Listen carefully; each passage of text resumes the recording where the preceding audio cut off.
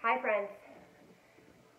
Welcome back to yoga. I hope you guys had a nice Thanksgiving, kind of different this year, but I hope everybody had something in their past week that was special to them. Maybe on Thanksgiving, maybe not. You had a lot of time to maybe explore something different. Um, this week for yoga friends, we are celebrating the Native American culture. We've done um, Latina, Latino, and um, African American. And this week we are doing Native American because in addition to it being Gratitude Month, it's also Native American Awareness and Celebration Month. So we will be reading this book. I know Mrs. Potter read this to some of you. It's called Fry Bread. And it is about the cutest book in the world and gives us a little insight into something that's important in Native American culture a little surprise, and I hope that it works out. We are going to try to make fry bread at our house today, and we'll record it and put it at the end of this um, end of this yoga lesson. There is um, the recipe is in the back of this book. So if you wanted to try to make fry bread at your house, you can freeze on that or take a screenshot of that recipe we're going to give it a shot. I'm not sure if it's going to be great, but we'll give it a try, huh? And honor some of the people that live in Minnesota by way of tasting the food that's special to them. Okay, friends, I also have a new sequence for us today. So we'll see how that goes for everybody. You know what? If something feels hard or different, just either give it a go if you're feeling adventurous, or else just kind of go into child's pose or sit while that pose passes, and then you can catch up with us, okay? All right. Oh, also, we are listening to some Native American flute sounds today. I'll turn it up a little bit. I'm not sure that you can hear it. Um, Native American flutes, and then they often put some nature sounds in their music as well. So it works nicely for yoga class today. All right, let's go ahead and get going. So we'll do our finger tracing. Fingers wherever you would like them. Nice long line, either laying down or sitting up from the top of your head till your tailbone. Thumb to the base of your pointer finger. Inhale, tracing up. Exhale, tracing down. Tall finger, inhale tracing up. Exhale, tracing down. Ring finger, inhale, tracing up. Exhale, tracing down. Pinky finger, inhale, tracing up. Exhale, tracing down. Ring finger, inhale, tracing up. Exhale, tracing down. Tall finger, inhale, tracing up. Exhale, tracing down. And finally, point your finger, inhale, tracing up. Exhale, Very good, friends. Okay, today we're going to start a little differently. We're going to start in hero pose, which just means sitting on your heels. Hands to heart. Mm -hmm. Inhale your hands up overhead. And shift your hands to one side. Feel a nice stretch. And shift your hands to the other side. Very good. Arms back overhead, folding forward onto the floor. And now we'll go into our child's pose for a minute.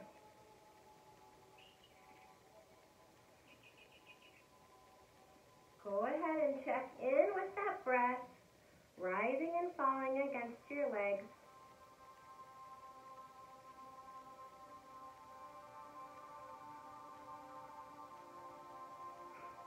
The Native Americans are so connected with the natural world around us. And this breath always reminds me that I'm connected to nature. When I think about the ocean or the lakes, lapping at the sand and then retreating back and lapping and retreating. Just a little reminder that the whole world is connected. Okay, come back up to seated.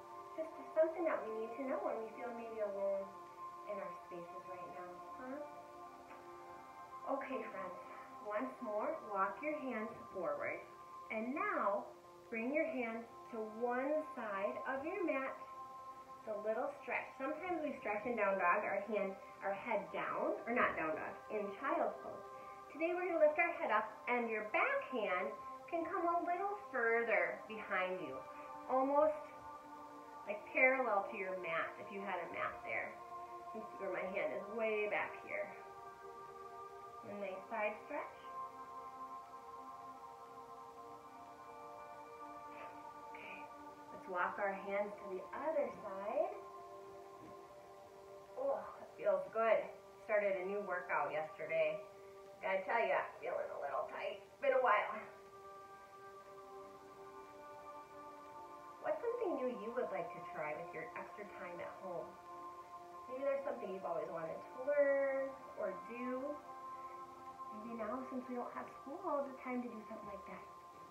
All right, tuck your toes, friends. We'll go into our first down dog for today. Remember, you can pedal your heels by bending one knee and then the other.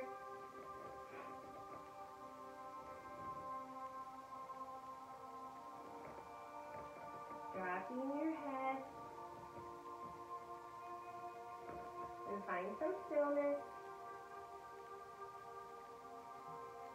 Take a big breath in here. On your exhale, shift into your high plank. Very good. Now we're going to do something a little different. Lower down to the mat. Then instead of having doing a cobra, we're going to bring our arms behind us and and lift up the same with cobra, only you're not using your hands. You're just using your belly muscles. This pose is called snake pose. Okay. If this is uncomfortable, go ahead and plant your hands and go back to cobra. Okay. There you go. Good job. Plant your hands back on the mat. Come through tabletop. And wiggle your hips out a little bit. If Anything's feeling tight back there. Okay, tuck your toes. Come back into a downward dog. Take a couple breaths here. On your next exhale, step your feet between your hands. Then inhale your hands overhead. Okay, very good. Now we're going to do what is called just, let's see, make sure I get the name right, sun breath yoga sequence. So our arms are up. Then we exhale by folding forward. Inhale halfway up. Now we skip the chaturanga. Lucky we just bring our hands back down. Inhale, arms up overhead. And exhale to your heart. Friends, let's do that one more time, okay? Inhale, arms up overhead. Exhale, forward fold. Inhale, halfway lift. Exhale, plant your hands. Inhale, arms up overhead. And exhale, hands to heart. That is, has a good rhythm for linking your breath to your movement, if that's something you'd like to try in today's yoga practice. Okay, now we're going to go into the push-up series. So inhale, arms up overhead. Exhale, forward fold.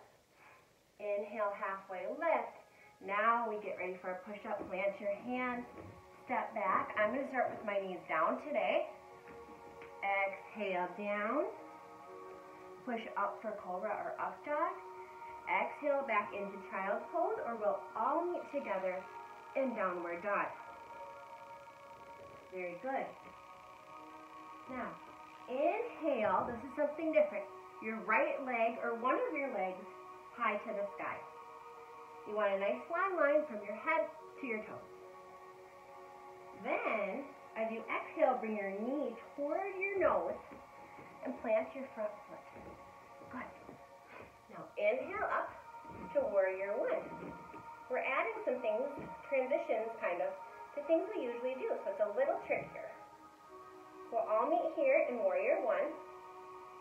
Then turn your hips, remember? We're going into warrior two. Hands parallel to the floor, arms parallel to the floor. Very good. Now this should feel more familiar from last week. Shift forward over your front hand. Back your front hand to the ground.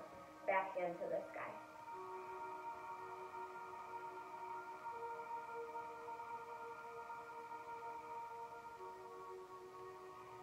Good. Back to warrior two. Now turn your front hand over. Bring your front hand to the sky. Back hand to your leg.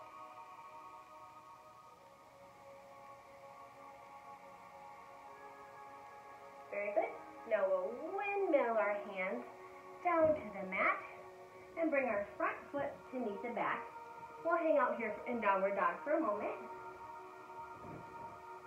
If you feel any tight places in your body, you can wiggle that around.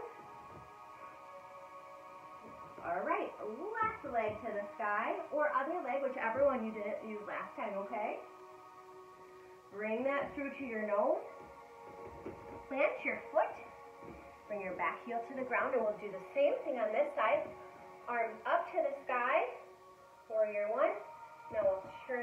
To the side. Warrior two. Really good. Shift forward over your front hand. There. Yep. Tick tock your hands and look at your top hand.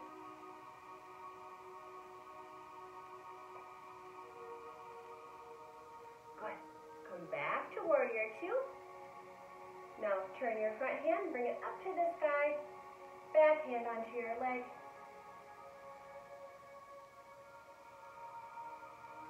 Now we'll do that windmill action on this side. Bringing your hands to the mat. I will keep my knees up this time. We'll do a chaturanga, okay? Exhale down. Inhale, push up. Exhale into child's pose, and we'll all meet together in downward dog. Very good. Okay, that was something new. Inhale here. Now on the exhale, step your feet between your hands. Inhale your arms up overhead. On your exhale, we're going into chair. Now friends, chair is something we haven't done in a while. So remember, we're sitting down like we're in a chair. Bring your hips back. You see how my legs are straight, this part. My shins are straight up and down so I can see my toes. So we'll stay here for a moment. And now we're going to try a new pose. Twisted um, or revolved chair. What you do is bring your hands to your heart. And then this elbow is going to come here. It's going to the opposite side of my body. Now, if this feels uncomfortable, you can put your elbow between your legs, or you can put one hand on your hip and one hand on your knee. Okay, let's. So I'm going to do this today with my elbow out, and then you look to the side. Mm-hmm. I'm feeling kind of tippy. How are you feeling in this pose, friend?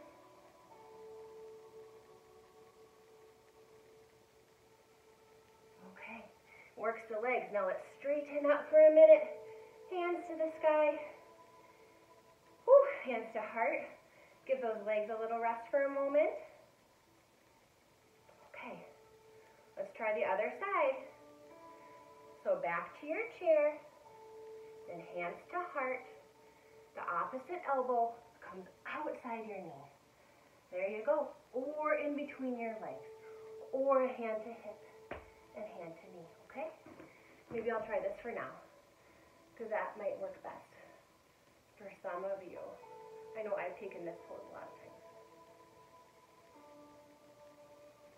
kind of hang out and let our legs hurt a little bit. Get some exercise there, huh? Okay. All right, let's come back to center. Inhale our arms up. And exhale, hands to heart. Okay, friends, let's go ahead and do our tree pose. Okay? So, you know what to do. Shift your weight into one leg. Find the place that you like to put your raised foot. Look at something that's not moving. Inhale your arms up overhead. And grow your tree when you're ready.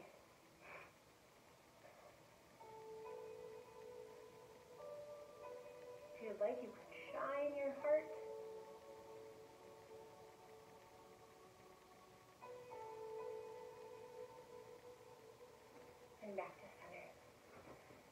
Try our tree pose on the other side.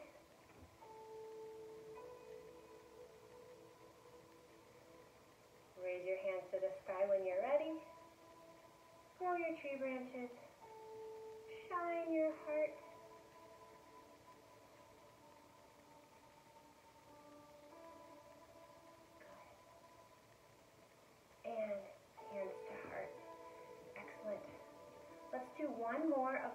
Sun breaths, okay?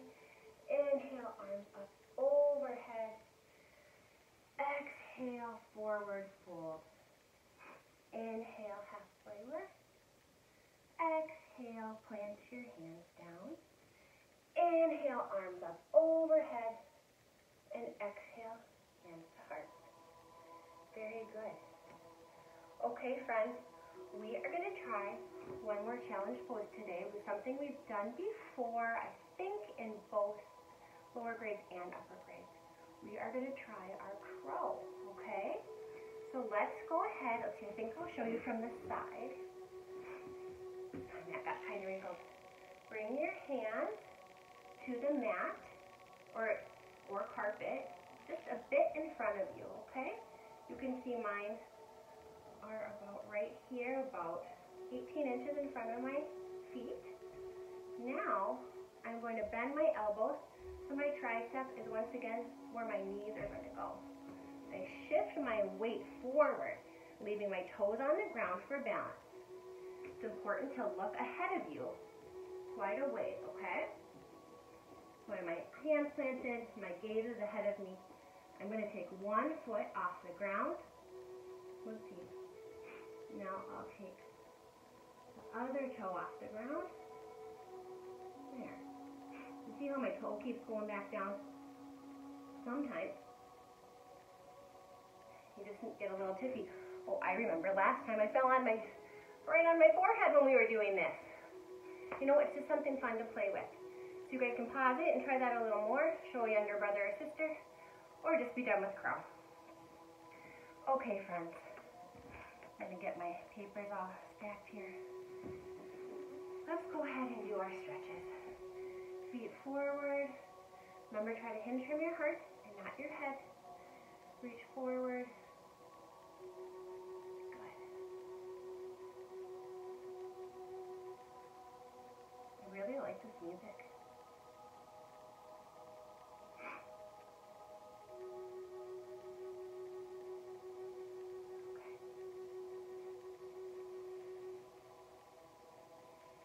Friends, we're going to bring one leg to the side, the other foot in towards our side, belly button towards your extended leg. And then just forward down Remember, any place you can reach is great. Wherever you feel a stretch but no pain. So your foot, your thigh, or your, or your shin.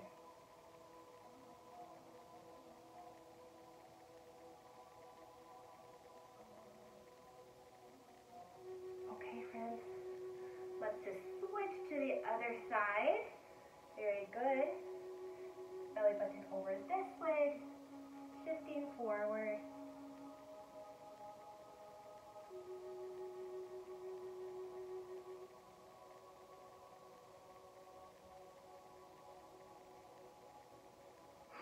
Okay, come back to center. Let's bring this foot that's tucked long too, so both of our legs are long. You know what, I even feel a stretch right here.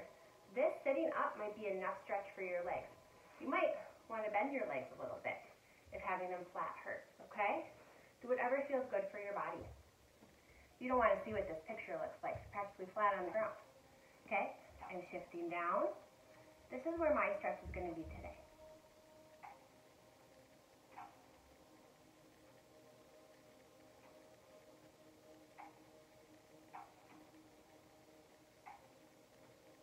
Okay. Sometimes once you get into a stretch, then you feel like you can go a little deeper. There's no pressure to do that. Your muscles might just get warm and used to where they are. All right, now we're gonna do everybody's favorite, yours and mine, boat pose. Okay, feet down, knees up, arms out. You know the drill. Let's see, thinking where I wanna go today. Leaning back, feet up. I think this might be it for me today, friends. Okay, feel free to extend your legs if you'd like. I'm sticking here. 10, 9, 8, 7, 6, 5, 4, 3, 2, and 1. Very good. Okay. Let's come back onto our back, lying down, feet planted, knees up, arms wide. This is old hat. Go ahead and drop your knees to one side, nose facing the other. Big breath in and out.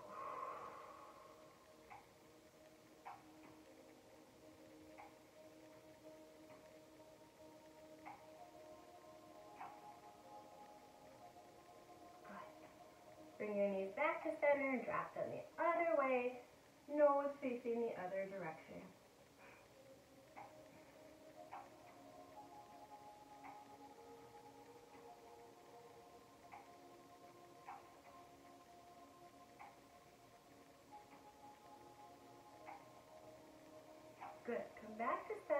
Bring our legs up the wall. So knees stay pointed toward the sky. Lifting your feet high. Once again, noticing the feeling. How your legs, your feet and the, the bottoms of your legs tend to feel lighter up here.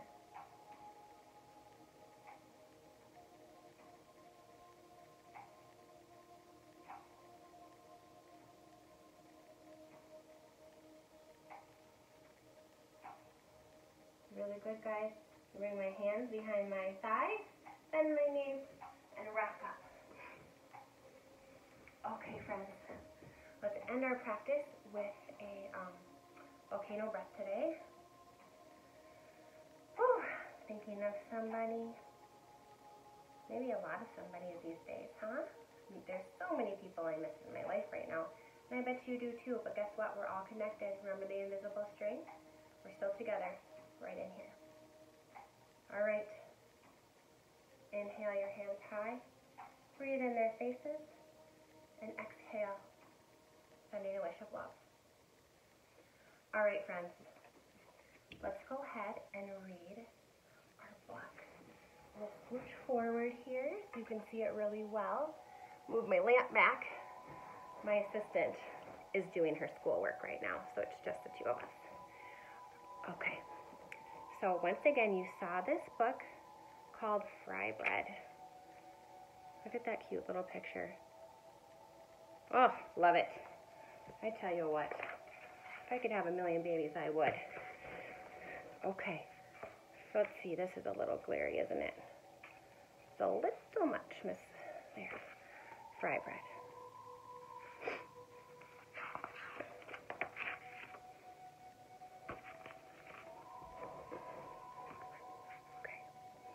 Fry bread is food.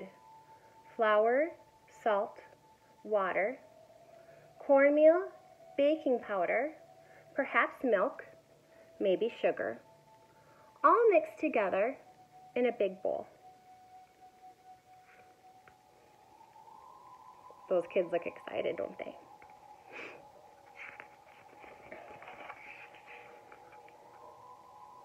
Fry bread is share. Hands mold the dough, flat like a pancake, round like a ball, or puffy like Nana's softest pillow.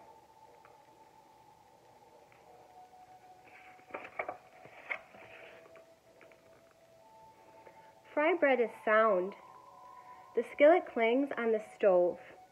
The fire blazes from below.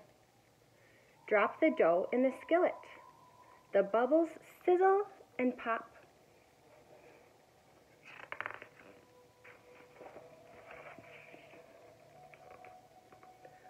Fry bread is color. Golden brown, tan, or yellow. Deep like coffee, sienna, or earth. Light like snow and cream. Warm like rays of sun.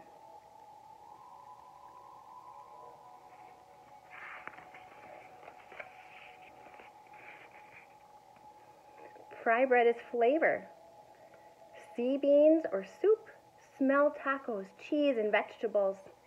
Delight in honey and jam. Rise to discover what brings us together.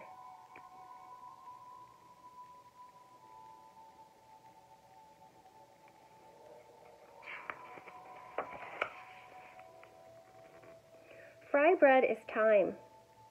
On weekdays and holidays, supper or dinner, powwows and festivals, moments together with families and friends.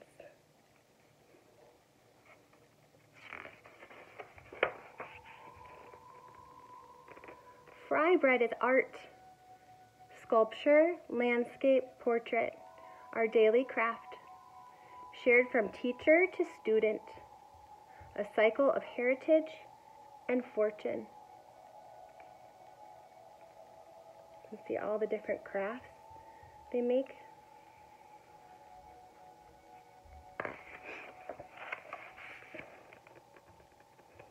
Fry bread is history, the long walk, the stolen land, strangers in our own world. With unknown food, we made new recipes from what we had.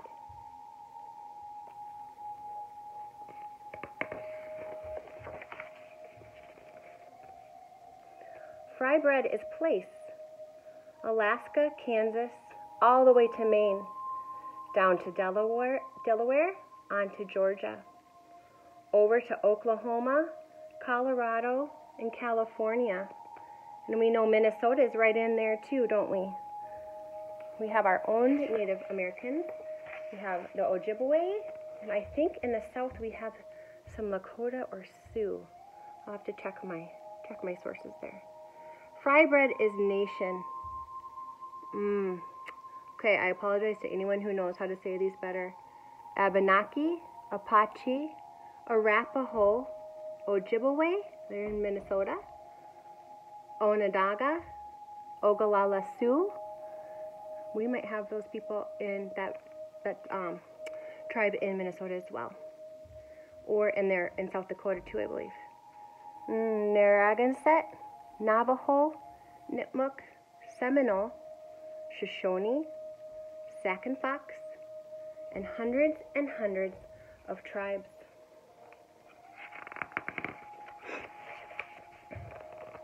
Fry bread is everything. Round, flat, large, small, north, south, east, west, brown, yellow, black, white, familiar and foreign, old and new we come together. Isn't that beautiful?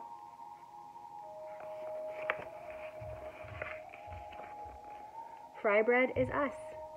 We are still here, elder and young, friend and neighbor.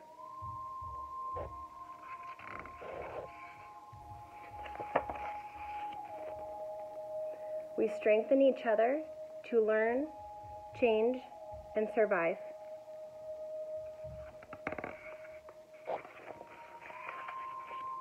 Fry bread is you. Look at that little guy.